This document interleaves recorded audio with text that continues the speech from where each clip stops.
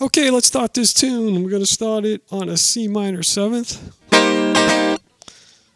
Back to a B flat. To the C minor seven. You just vamp on those two chords. Meanwhile, the other guitar is doing the riff, which starts on a E flat to an F.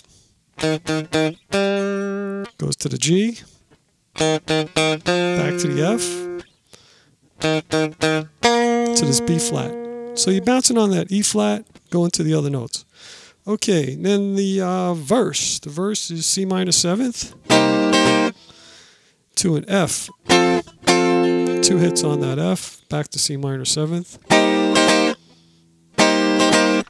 Then to an A flat, B flat, C minor seventh.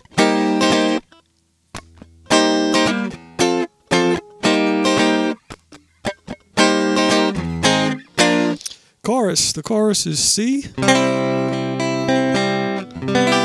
major 7, C7 to F major 7. Again.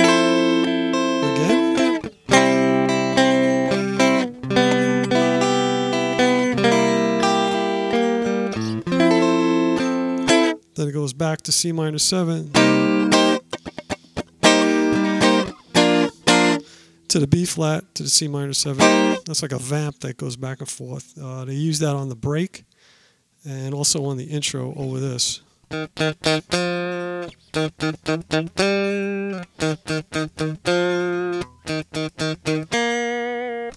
basically the whole tune. Uh, check it out.